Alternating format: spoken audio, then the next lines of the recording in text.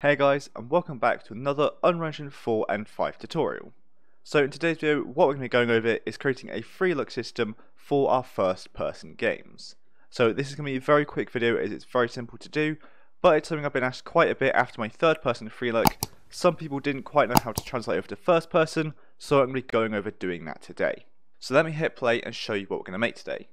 So as with a free look system essentially what we can do is we can walk and if I were to hold left alt or any button you want we can look around without it actually changing the direction we are moving in and we're traveling in. So again, I did this for third person, but this is now in first person, so we can then shoot where we want and where we want to look without actually having to travel in that direction. So it's just a bit more realistic, and it just adds in that extra element to your game, which you might want, and I think it's really nice and really cool to do. So again, it means we can walk around and look around freely without changing the direction we are traveling in. So this is what we're going over in creating today, so without further ado, let me delete this code and I'll show you how I've done it. So like I said, this is incredibly simple and quick to do, so let's get right into it. The first thing we want to do is we want to go up to Edit in the top left, Project Settings, scroll down to Input under Engine, and we want to create an action mapping. So let's open the action mapping here, add one, and I'm going to name this Free Look as that makes the most sense for me. And I'm going to set this to the button I want, and again, like I said in the start, I'm setting that to Left Alt. However, you could of course set this to whatever button you like.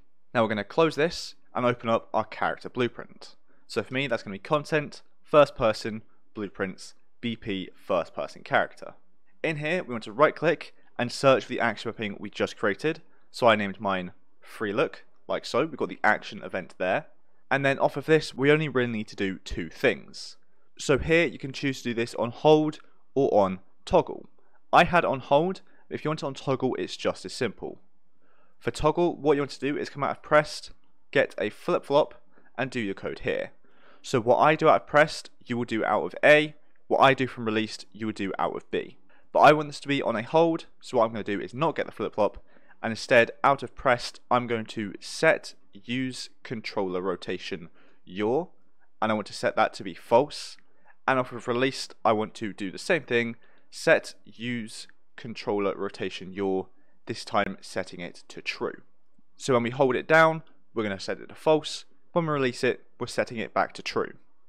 So what you'll also want to do is make sure you select self up in the top left, the name of our blueprint, and then self, and then make sure that use control rotation yaw is ticked so it's true by default. It should be if you're in first person anyway, if it's not, make sure it is so that your first person is then going to work properly how you want. So let's compile, save and close this, and let's hit play and test it out. So if I had to walk around, hold down left alt, I can now move my camera and look around without it affecting the direction I'm traveling in.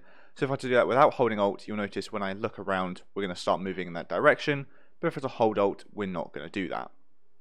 So I think that'll be it for this video as we've done everything we want to do. What we've done is we set up a very basic free look system, which again was very quick and easy to do, but it means we can just look around freely without having to actually then change which way we are moving in. So we can look to the left, we can look to the right without actually moving to the left or right. But if we were to obviously not hold it like I just showed you there, we will continue to move in that direction. So thanks so much for watching this video. I hope you enjoyed it and I hope you found it helpful. And if you did, make sure to like and subscribe down below. So thanks so much for watching, and I'll see you in the next one.